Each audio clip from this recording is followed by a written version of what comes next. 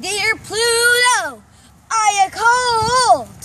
Do you know Miss? Do you have anything living on you? I really want to come for a visit. And the last of all, I really want to have a play date. Yeah, Pluto. Oh yeah. Yay for Jaden. Thank you. Thank you. Thank you.